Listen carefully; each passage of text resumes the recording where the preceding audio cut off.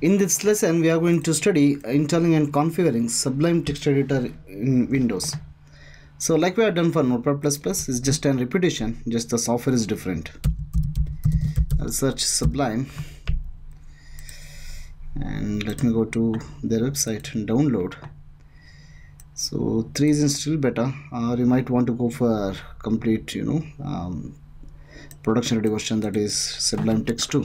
Let me choose 3 uh, I'm using Windows 64 bit so I'll just download this.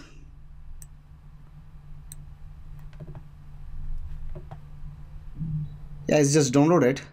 I will just open show this in folder. I will move this from here to software folder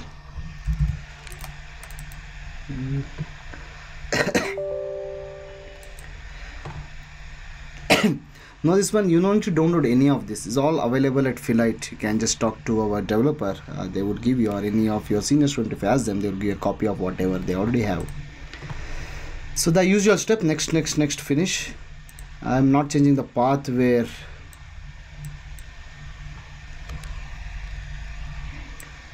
uh, Sublime is installed. So I'll go to C drive program files. Sublime text 3 so there it is. I think it is Sublime text. Yeah. So I'll copy this path. Usual step. Type environment. After pressing start button. Edit system environment variable. Environment variables. Path. Edit and send new paste it or go to edit and go to the end and put a semicolon and paste it. Say ok three times. And like notepad plus plus i can open from n. I also want to open this by typing s. So what i'll do i will copy this paste here and I will rename it to just yes now if you open see again I need to close the command line and reopen this console. So if I say yes I'm able to see Sublime. And in the Sublime here uh, there are many themes are available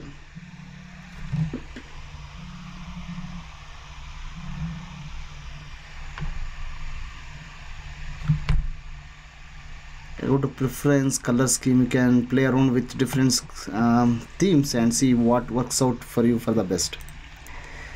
And in the notepad plus plus there is one more thing i wanted to tell you. Let's say um, let me go to d drive and my name folder name. Here let's say i will create one file. Let's say notepad n space is a test.java and if you write anything let's say class test or something so don't bother. I'm not writing any java program here. I just uh, showing you how to configure a few more things. So here there's a plus or control plus. We'll do the what? Control mouse scroll. Will do the zoom in and zoom out. Second there's a language. If you go and choose java and java so the keywords of java will get highlighted here suppose any new documents which you create say for example let me choose language j java. But if i say control n and i say class uh, test again see this is not highlighted. So if you want by default you want to tell notepad plus plus that uh, everything which i'm going to do with you is just java. Consider them as java document. In order to do that go to settings preference new document here instead of normal text choose java and click on close.